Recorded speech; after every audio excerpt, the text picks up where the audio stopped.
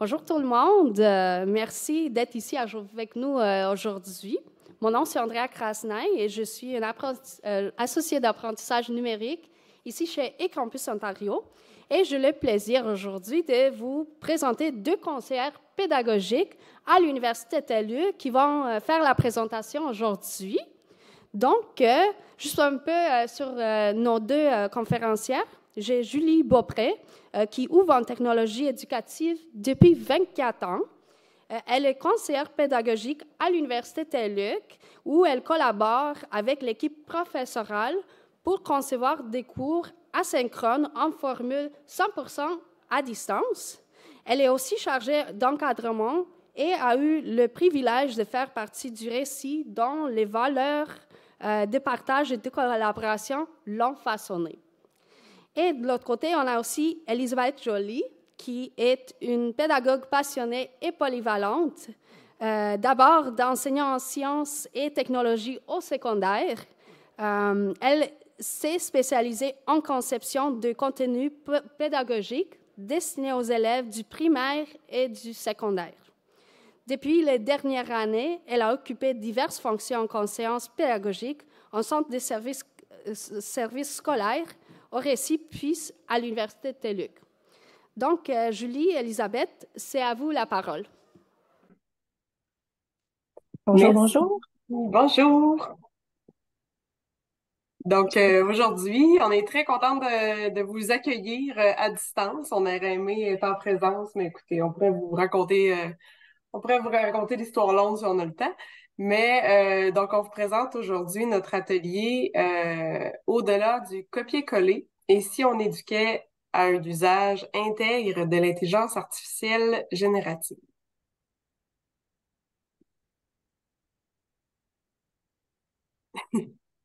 donc, euh, pourquoi pas, euh, comme tout bon humain, on voulait finalement illustrer euh, quelque chose qu'on connaît pas, quelque chose qui est nouveau. Puis l'humain, de la façon qu'il est fait, ben, il va toujours prendre quelque chose qu'il connaît pour faire des liens. Puis la chose qu'on a peut-être tous en commun, c'est de connaître le jeu Pac-Man. Donc, euh, on voit un peu l'intelligence artificielle comme, dans le fond, cette planche de jeu, comme un labyrinthe.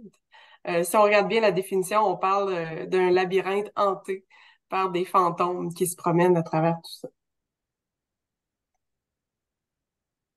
Donc, comment ça se présente? En fait, la façon qu'on veut vous en parler aujourd'hui de l'intelligence artificielle, c'est parce qu'on a tous été, il y a un an, confrontés à l'arrivée de ChatGPT. Euh, puis, depuis, en fait, on s'y intéresse beaucoup. On a essayé justement de, vous le présenter à travers euh, le Pac-Man en vous disant, en faisant un tour finalement. Donc, c'est une planche de jeu où est-ce que c'est, ça va vite. Il faut se dépêcher. Euh, donc, c'est assez inconfortable. Il faut passer à travers le jeu. Euh, il faut manger toutes les, les, petites pinouches euh, jaunes. il faut vraiment faire le tour. On n'a pas le choix. Il n'y a pas d'autre issue. Donc, c'est comme ça qu'on a voulu représenter un peu notre, notre l'intelligence artificielle pour nous. Et il n'y a pas juste le Pac-Man, il y a aussi les fantômes. Donc, les fantômes qui se promènent un peu, euh, sont peut-être nos défis, euh, ils sont peut-être nos obstacles. Donc, on a envie peut-être de paniquer quand on les voit qui nous suivent dans le Pac-Man, qu'on essaie de passer au travers, de se l'approprier. Donc, chaque pinouche représente un peu chaque partie de l'intelligence artificielle qu'on souhaite s'approprier, puis on a les fantômes un peu qui tournent autour. Est-ce qu'on doit bannir? Est-ce qu'on doit paniquer? Est-ce qu'on doit finalement interdire l'intelligence artificielle aux étudiants? Est-ce qu'on doit se l'interdire comme professionnel aussi? Donc, c'est de là aussi que notre réflexion est partie. Et ensuite, euh, ben, tout à travers les petits pinouches, ben, il y a des décisions importantes euh, qui doivent être prises. Est-ce qu'on on s'éducte, euh, s'éducte, oui. Est-ce qu'on le, est-ce qu'on regarde pour le, détecter? Est-ce qu'on veut utiliser l'IA pour finalement faciliter le travail euh, des professeurs et des chercheurs? Est-ce qu'on doit le contourner? Mais finalement, on n'a peut-être pas le choix de passer au travers toute cette belle euh, nouveauté-là parce que euh, on, on a fait un peu des tests de notre côté, on passe au travers de notre Pac-Man et euh, voici une interface en fait euh, de Bing, peut-être vous l'avez déjà essayé. Il se place finalement en barre latérale sur le côté droit de l'écran, Bing qui est comme l'équivalent de Google mais un autre moteur de recherche.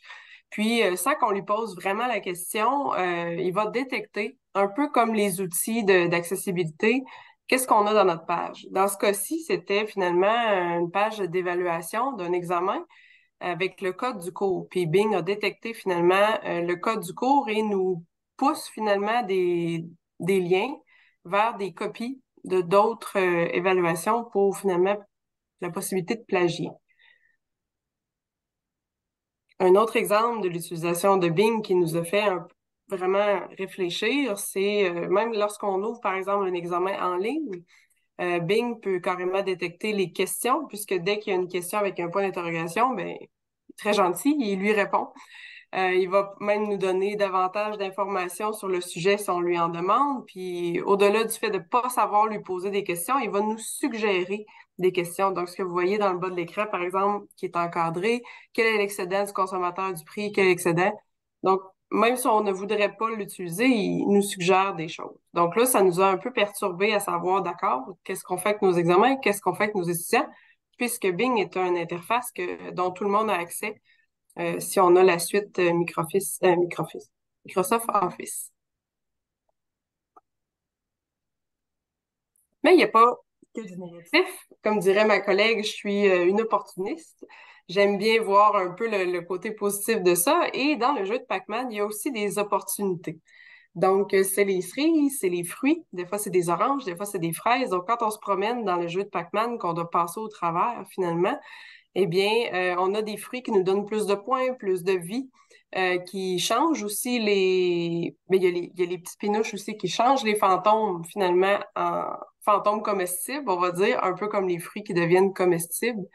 C'est là-dessus qu'on a essayé de se concentrer pour l'intelligence artificielle, c'est-à-dire de s'informer, de se former et de former nos collègues, etc., et les, profs avec qui on travaille, de prévenir et d'intégrer donc dans le prévenir, donc vraiment d'aller dans finalement la base de tout ça, de l'évaluation.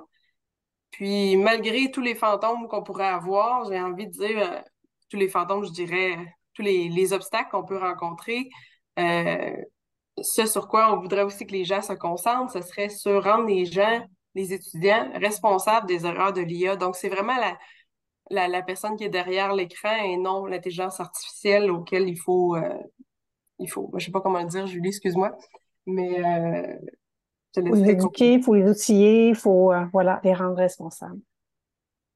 Alors voilà, sur cette métaphore, on va passer à la prochaine partie de la présentation.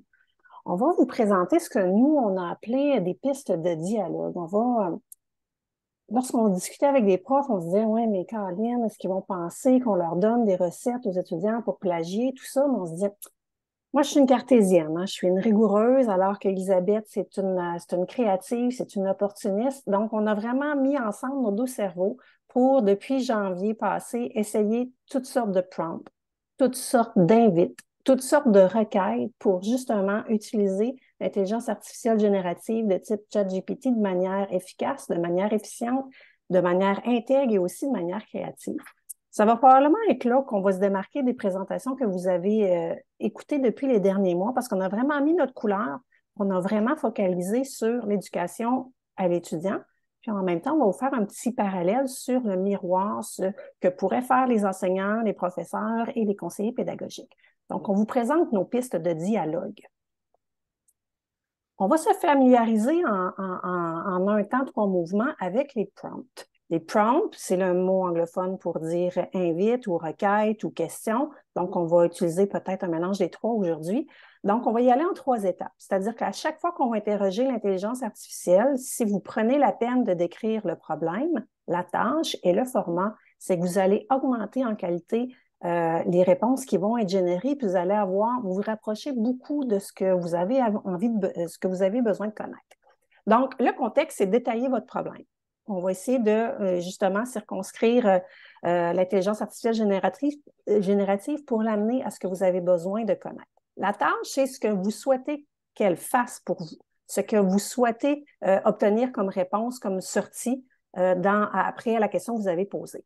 Et enfin, le format, ça va être pour vous de détailler et de décrire comment vous souhaitez obtenir l'information exactement. Et on va vous donner nos exemples dans les prochaines minutes. On vous présente euh, nos, meilleurs prompts, nos, meilleures requêtes en fonction de ces cinq étapes-là. Ces cinq étapes-là, ça vient du site web Ma Réussite, un site web qu'on a à l'interne pour outiller nos étudiants dans leur réussite et dans leur persévérance euh, scolaire, dans, leurs études, dans leur projet d'études. Donc, on va avoir la première étape qui va être de planifier les travaux, la deuxième, de les rédiger, de les réviser, de s'auto-évaluer et d'étudier son examen. Si ça, ce sont des bonnes pratiques pour eux, euh, pour euh, justement remettre leurs travaux et réussir, on s'est dit comment on pourrait utiliser euh, l'intelligence artificielle générative pour augmenter ces tâches-là pour arriver à nos fins de façon différente et de manière en, apportant une valeur ajoutée. Donc, c'était, ça a été ça notre défi. Et c'est là-dessus que je vous propose de réfléchir dans les prochaines minutes. Donc, on a testé plusieurs requêtes et on vous présente euh, ce qui a le mieux fonctionné pour vous. On a testé plein d'examens, on a testé euh, qui étaient déjà dans, dans, nos cours, on a testé aussi euh, des travaux notés, puis on vous présente ce qui marche le mieux dans notre contexte universitaire, formation à distance. Alors voilà.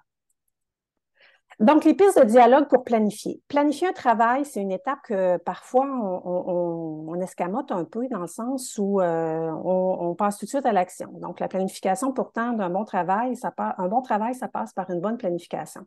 Donc, on va vous montrer à l'aide des trois étapes qui sont là comment utiliser l'intelligence artificielle pour vos étudiants, euh, comment les éduquer à mieux planifier leur travail et évidemment sans tricher.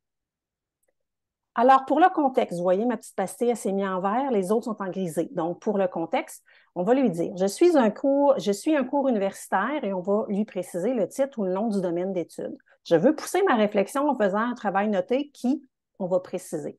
Ce travail comporte les exigences, on va les préciser, et mon travail comprend les sections, on précise, et d'une ampleur de X nombre de mots. Tout ça, ça va décrire le contexte, ça va amener l'intelligence artificielle justement à comme faire le tri dans ces données pour vous présenter un résultat qui est plus pertinent. On passe à la tâche maintenant. Qu'est-ce qu'on veut qu'il fasse pour nous? Afin de réduire mon stress, je veux trois choses. Un, dresse-moi une liste complète des tâches qui vont être nécessaires pour la rédaction pour chacune des sections de mon travail. Deux, précise-moi les arguments à développer et les questions que je devrais me poser pour chacune des sections. Trois, inscris-moi le degré de priorité, le niveau de difficulté et la durée estimée pour chaque tâche. Et enfin, on va préciser le format. Ma petite capsule se, met en vert pour dire que ça va être le format. Et présente-moi le tout sous forme de tableau. ChatGPT, on ne peut pas lui donner de tableau, mais lui, il peut nous en faire. Et voici le genre de réponse qu'il va vous présenter ou va présenter à l'étudiant. Donc, pour chacune des semaines, on va avoir les différentes étapes de la recherche, le temps qui est requis à compter de manière approximative et les questions à se poser pour bien réussir cette étape-là. Donc, vous voyez qu'à l'aide d'une telle proposition, ce n'est probablement pas parfait, mais ça fait une planification sur laquelle on peut s'appuyer, puis on peut regarder justement si on est dans la bonne lignée, puis si on peut, on avance de manière euh, euh, sécuritaire ou euh, rassurante vers l'objectif finalement. Si on veut continuer à partir du même contexte, donc je continue mon, prompting, je continue ma, ma demande en disant je te pose une nouvelle tâche. Afin de réduire mon stress et optimiser mon temps, adapte la planification que tu viens de me donner en tenant compte de mes contraintes. Moi, je peux travailler les lundis et mercredis soirs de telle heure à telle heure, puis je peux travailler la fin de semaine à la bibliothèque. Propose-moi un horaire de travail en précisant ce que je dois faire pour chacune de ces étapes-là, pour chacune des prochaines semaines. Et on va demander, on va recevoir euh, une nouvelle euh, planification. Voici ce que tu dois faire le lundi, voici ce que tu pourrais faire le mardi. Donc, évidemment, toujours l'intelligence humaine pour partir d'un plan de travail qui est généré à partir des données d'entraînement de la machine va permettre justement de, peut-être pas de le respecter à la lettre, mais au moins ça va donner une base qui pourrait rassurer plusieurs étudiants. Donc, c'est un peu comme ça qu'on l'a pensé pour la planification des travaux notés. Je vous fais le miroir du côté personnel enseignant puis du côté des conseillers pédagogiques comment on peut l'utiliser, nous, en tant que professionnels, pour euh, justement planifier euh, notre, travail, nos, interventions? Donc, on pourra demander une ébauche de plan de leçon, de plan de cours ou même d'un exposé. Si on lui donne les grandes lignes, il va justement nous soumettre certaines grandes lignes. Puis c'est toujours sécurisant d'avoir un espèce de plan de travail qui n'est pas une feuille blanche. Même si on n'aime pas ça, on sait déjà, on a déjà une piste de départ, on sait qu'on peut biffer ça, transformer, donc ça fait déjà quelque chose de plus sécurisant on peut lui demander de proposer des activités pédagogiques. Donc, souvent, on a envie de proposer des, activités qui sont peut-être, je dirais pas plus traditionnelles, mais souvent qui se rapprochent de l'écrit, mais des fois, on peut aller explorer d'autres avenues. Puis c'est une intelligence artificielle générative. Donc, lui, générer des idées, on les prend on les laisse, il ne s'offusque pas. Euh, un webinaire que j'ai écouté hier, euh, la dame euh, que j'ai mis en référence un petit peu plus bas, elle s'appelle elle s'appelle Hardman. elle, elle propose d'utiliser l'intelligence artificielle générative pour justement trouver des stratégies pédagogiques qui sont différentes et puis les adapter au type d'apprenant, au type aux objectifs qu'on a dans un cours et même à certains sujets. Donc, elle, voit là un potentiel vraiment pour augmenter la valeur ajoutée des stratégies pédagogiques. Donc, voilà pour le miroir pour l'enseignant si ma mémoire est bonne, on passe à la deuxième partie qui est de rédiger ses travaux. Donc, on va utiliser la même façon de faire, puis on va utiliser les trois étapes et comment on peut faire justement pour augmenter la valeur de la rédaction de nos travaux. Évidemment, euh, on ne demandera jamais euh, pour la rédaction, on ne demandera jamais à l'intelligence artificielle de rédiger pour nous. Il y en a probablement qui vont le faire en raccourci, mais ce n'est pas l'idée qu'on veut prendre. Nous, on veut prendre l'idée de l'utiliser pour augmenter la valeur, augmenter ce qu'on fait déjà. Donc là, on va ajouter ici l'idée de la direction, c'est-à-dire de l'orienter vers ce vers quoi on a besoin qu'il converge. Donc, pour mon cours universitaire, ça situe. Je dois produire un travail noté, ça situe. Et euh, je veux spécifier les objectifs ou le thème, ça situe. Donc, ça permet justement de restreindre le champ des possibles et d'obtenir une réponse qui va être plus ciblée. Et on va le cibler encore davantage en lui disant, mes idées principales sont celles-ci. On va énoncer et on va préciser les auteurs qui ont été consultés. On passe à la deuxième étape qui est la tâche et le format. Quelle structure me proposes-tu pour organiser mes idées principales afin qu'elles soient claires et compréhensibles? Donc, évidemment, on n'a pas de plagiat là-dedans. On va obtenir une proposition, on va placer les idées, et puis déjà, ça va être plus facile pour le lecteur et d'apprécier la qualité du travail rendu par l'étudiant. Et on va lui demander de présenter un plan détaillé. On pourra aussi poursuivre, euh, poursuivre la piste de dialogue pour euh, la rédaction en lui disant on y va avec le même contexte. Voici l'argument que j'ai fait à partir de la, conversation que je viens de, qui précède. Je vais copier-coller l'argument entre, guillemets. Euh, je vais ajouter, je vais lui demander deux choses. Quelle piste me proposes-tu pour enrichir cet argument-là? Puis quels exemples concrets est-ce que je pourrais utiliser pour expliquer ça clairement à la personne qui va me corriger? Le format, maintenant, propose-moi trois pistes d'enrichissement et justifie-les. Comme ça, ça va me permettre de juger de l'importance. Et présente-moi aussi trois exemples parmi lesquels je pourrais choisir trois exemples, euh, des exemples pour euh, aider à la, euh, pour exemplifier justement le propos qui est dit, donc des exemples plus concrets. Donc voilà, on a encore une étape en trois formats, en trois, on a un, un, prompting en trois, en trois étapes, et puis qui va donner des résultats vraiment intéressants. On l'a testé et ça va bien. Euh... Ah oui, celle-là, je l'aime bien. Je l'aime bien, je l'ai testé aussi récemment, très récemment, et ça fonctionne vraiment très bien. Pour l'argument, on le nomme, voici les différentes idées que j'ai puisées dans mes lectures. Donc, lorsqu'on a plein d'idées, on a tel auteur, tel auteur, blablabla, blablabla, on a plein d'informations, on va les copier-coller, entre guillemets, merci, bonsoir. On va demander à l'intelligence artificielle comme tâche, regroupe-moi toutes ces informations disparates propose-moi une structure qui se tient à l'aide de trois idées principales. Ça ne sera pas parfait ce qu'il va envoyer, mais s'il y a 20 idées disparates, il va proposer une organisation qui va se tenir, puis oh mon Dieu, au moins ça permet de placer les idées, puis c'est déjà de, ça organise vraiment, puis c'est pas de tricher, on le prend, on le modifie, on le met à notre, main, c'est parti ici, manque tel tel morceau, etc., etc. Et on va demander à l'intelligence artificielle en format, présente-moi chaque idée en forme de paragraphe. Donc, vraiment, c'est une autre façon, vraiment, de le tester. Puis, ça aide beaucoup à la rédaction quand on a plein d'idées, mais qu'on ne sait pas comment les organiser. Ça nous fait une proposition, ça nous fait une ébauche sur laquelle on peut travailler. Comment on met ça du côté enseignant et pédagogique euh, et conseiller pédagogique? Déjà, celle que je viens de vous dire, je l'ai testée moi-même en tant que conseillère pédagogique et ça fait, ça m'aide vraiment. Euh, on peut l'utiliser pour répondre à un courriel. Par exemple, euh, répondre à ce message d'un étudiant de manière euh, professionnelle éducative. Bonjour, est-ce que le prochain cours est important?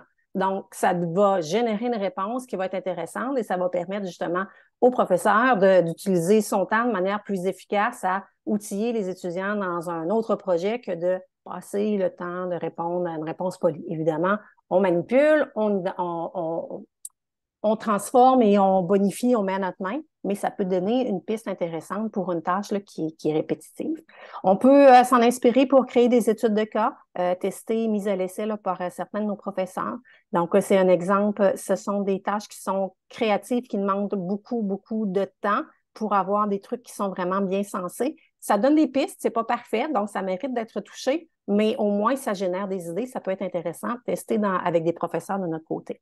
Création d'un premier jet pour une grille d'évaluation. Ça aussi, c'est vraiment intéressant dans le sens où on dit, on peut lui dire euh, voici les consignes de mon projet, euh, créer une grille d'évaluation critériée avec euh, tel niveau, donc réponse attente, ne répond pas, ou etc., etc.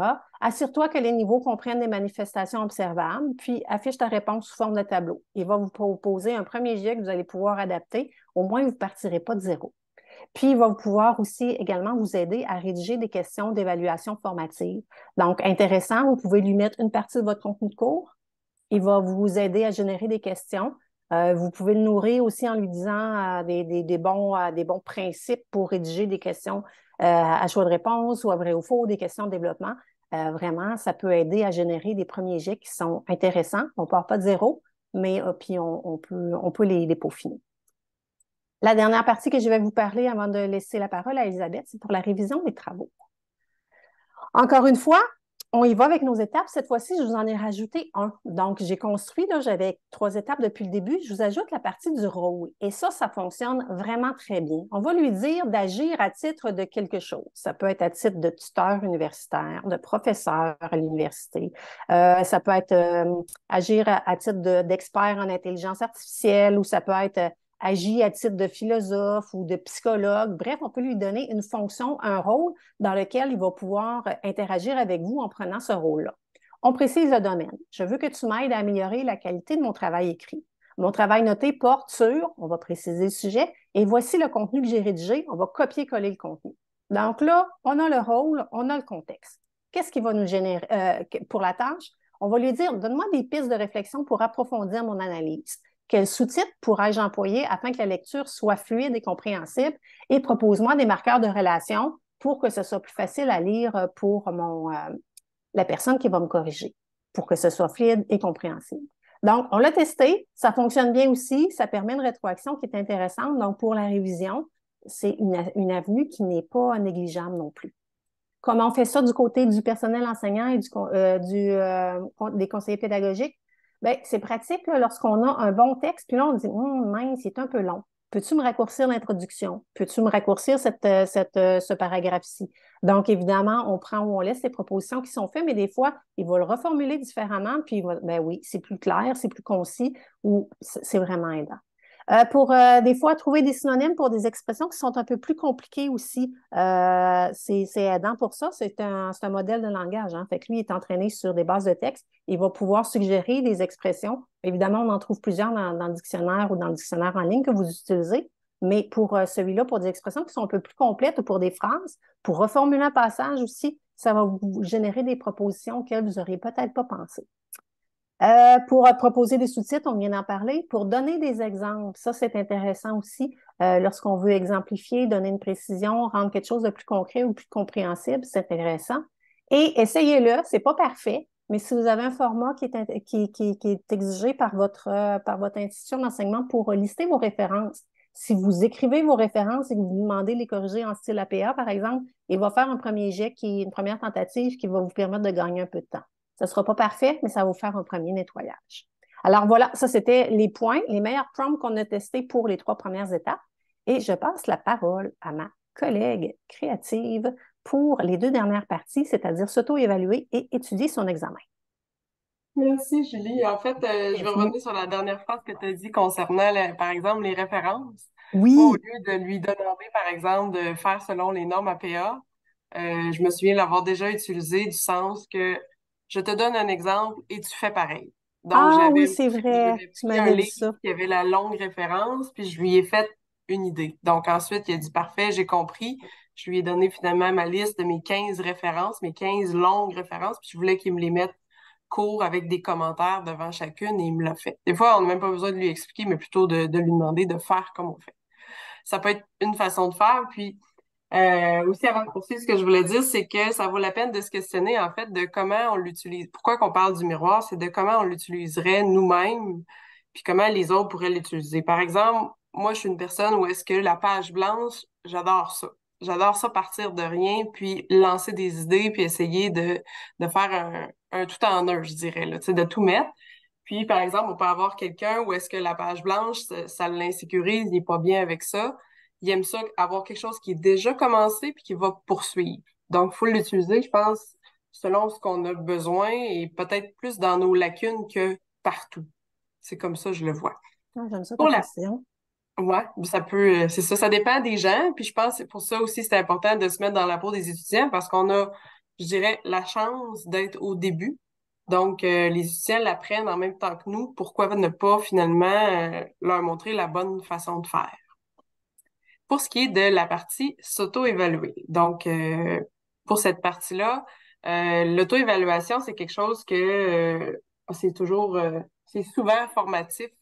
Et qu'est-ce qui est formatif? Ben, les étudiants ont envie peut-être des fois de, de, passer à côté rapidement. Mais si on s'en servait finalement pour justement, dans, ces, dans cette avenue-là, de s'auto-évaluer. Donc, agir à titre, encore une fois, avec les, les catégories comme Julie vous en a parlé au début, agis comme professeur euh, à l'université dans le domaine de, je veux que tu me fournisses une réaction, une rétroaction pour le travail et que je vais te soumettre dont les objectifs du cours ou les objectifs du travail selon ces consignes-là.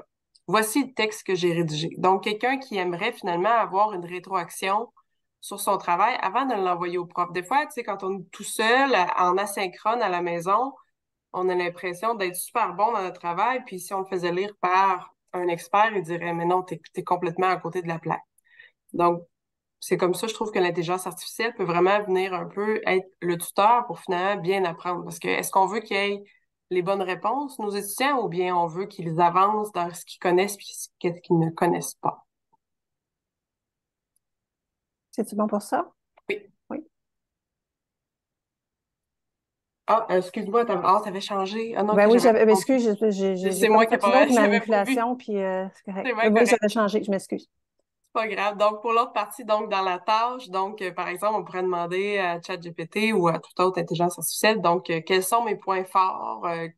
où est-ce que je dois progresser? Parce que, nécessairement, on veut que nos élèves connaissent leurs forces, connaissent leurs faiblesses, pour qu'ils puissent travailler, finalement, au bon endroit.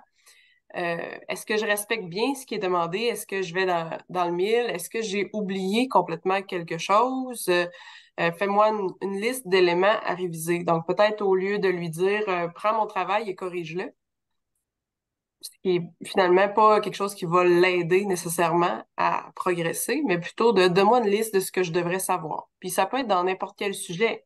Les impôts s'en viennent bientôt fais-moi une liste de ce que quel sujet je devrais m'informer. Je suis euh, conseillère pédagogique à l'université. Quelles sont les infos que je devrais connaître pour faire mes impôts? Je vous donne un, exemple peut-être plus proche de, de, nous. Donc, ça, c'est pour cette partie-là. Étudier pour son examen. Donc, encore une fois, quand on lui donne un rôle, puisqu'il y a énormément d'informations pour les intelligences artificielles, donc plus qu'on cible plus qui va être précis et va répondre à notre demande. Donc, agis à titre de professeur. Euh, ton travail est de m'expliquer certains concepts de manière à ce que je puisse bien les comprendre. Euh, tu peux décomposer les idées complexes en éléments plus simples. Donc, je sais que j'ai déjà j'ai entendu, par exemple, en médecine, qu'il y a des choses qui étaient trop complexes pour eux. Donc, de décortiquer finalement un concept, euh, ça peut les aider puisqu'ils n'ont pas un prof en asynchrone, surtout, ils n'ont pas un prof à côté d'eux qui peut finalement les, les informer. Puis la recherche Google, parfois, peut être plus diffuse que là, lorsqu'on lui donne un rôle, on lui dit sur quoi, on lui, on lui donne plein de précisions. Et pour euh, au niveau de la tâche, donc j'ai du mal avec cette notion. Donne-moi des exemples pour que je comprenne bien. Et euh, surtout, je trouve que c'est quelque chose qu'on oublie. Euh, je veux que tu me poses des questions. Donc ça, ça vaut la peine de l'ajouter par exemple, dans chaque prompt. Donc, avant de, une fois que tu as répondu à ma question, repose-moi une autre question ou donne-moi d'autres prompts que je devrais te poser pour pouvoir continuer finalement. Euh, ça devient finalement un chat box. Donc, je ne sais pas c'est quoi le français, mais au final, on parle anglais-français, donc c'est correct. Robot conversationnel. Robot conversationnel, dans le fond, qu'on vient vraiment s'en servir pour qu'il nous pose des questions pour une certaine évaluation ou autre chose. Pardon. Et l'autre partie d'avant, que comme on, peut prendre des fois pour acquis que les étudiants, ils vont lire, ils vont prendre des notes, ils vont, ils vont être super bons pour se faire des cartes conceptuelles pour réviser. Donc, c'est quelque chose qui est peut-être moins abordé parfois dans la, conception de cours. Mais peut-être qu'on pourrait donner cette, euh, cette information-là autrement. Donc, les étudiants pourraient aller consulter ChatGPT ou une autre intelligence, du sens que comment je fais pour prendre des bonnes notes? Je suis de tel type étudiant, je suis de genre comme ça, j'ai besoin d'entendre. Cinq minutes avant la fin, parfait. Est-ce que tu peux me faire euh, comment, comment réaliser une carte conceptuelle? Est-ce que je dois prendre le même type de notes pour une vidéo, pour un document audio, pour un manuel? Donc, il peut venir vraiment agir à titre de conseiller. Tout n'est pas parfait lorsqu'il donne la, réponse. Il faut assurément retravailler l'information et le, le pousser à aller un petit peu plus loin assez souvent. Elisabeth, je vois qu'on est euh, à l'aube de nos 30 minutes. Oui. Comment tu vois ça pour la finale? En fait, il nous resterait 10 secondes, genre. On Je laisse Vas-y. Ben, ben, OK, allons-y pour la conclusion. Écoutez, on avait d'autres petites choses pour vous, mais euh, ah, celle-là, on l'aime. On va terminer avec euh, ces citations-là qu'on aime beaucoup. Euh, puis on va vous laisser réfléchir à, cette, à, ces, à ces questions.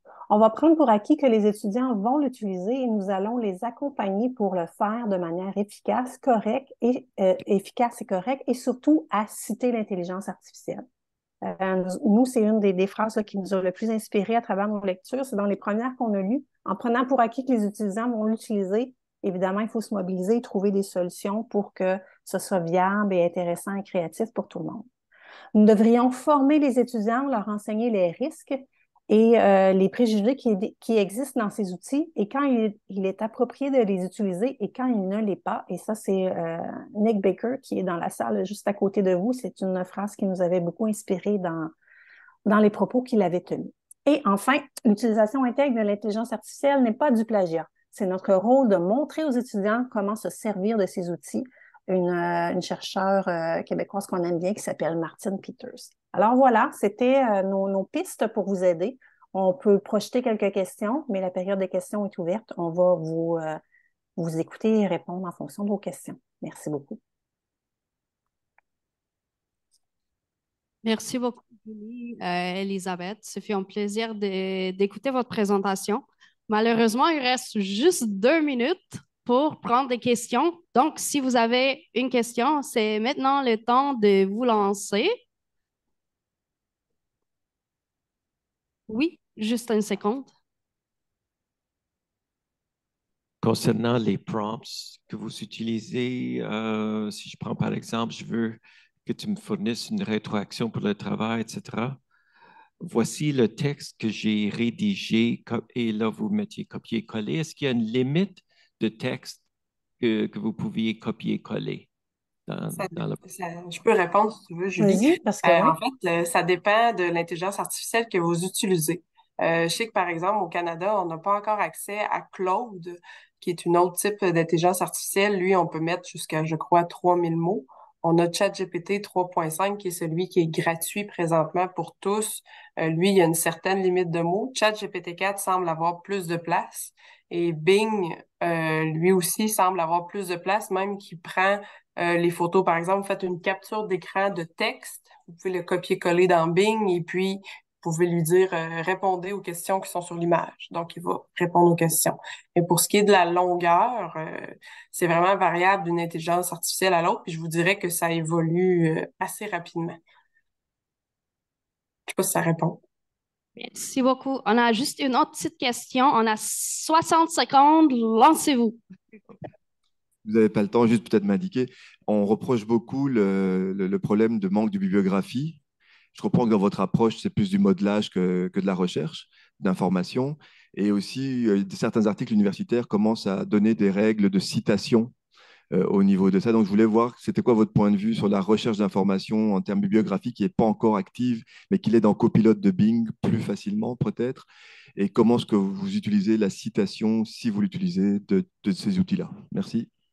Euh, je peux répondre pour celle-là, Elisabeth. Euh, on a écouté cette semaine euh, Martine Peters qu'on a accueillie à notre, à notre université. Elle suggère, elle, dans ses pistes de, de, travail, une IA-graphie pour justement décrire comment on a utilisé l'intelligence artificielle, quelles questions on a mis. Donc, c'est justement pour être transparent dans le processus de rédaction. Elle a un exemple concret dans son diaporama, mais que je pense pas qu'il soit sur son site web. Euh, si jamais vous avez besoin, euh, on a-tu mis nos coordonnées professionnelles? Je ne sais pas si on l'avait mis dans la page d'accueil, mais bon, euh, c'est possible de le faire. Puis, il y a d'autres outils pour la recherche aussi. On peut parler de consensus, puis il y en a un autre aussi qui permet justement de faire des références ou de la recherche plus facilement concernant des ressources documentaires. Donc, ce ne sont pas des intelligences artificielles génératives comme celles dont on a parlé aujourd'hui, mais ce sont d'autres intelligences artificielles qui permettent justement la, le fait de collecter les différentes données pour euh, justement préparer les travaux de recherche. Il y a consensus? Euh, chaque, chaque université, tu sais, je crois qu'ils sont, comme Nick Baker nous avait dit il y a bientôt six mois, il nous avait dit chaque université va devoir un peu se pencher parce qu'il n'y a pas de consensus, je crois, mondial, on va dire ça de même chaque université peut faire ses règles. Je sais que la TELUC, nous, on est ils sont en train de bâtir quelque chose.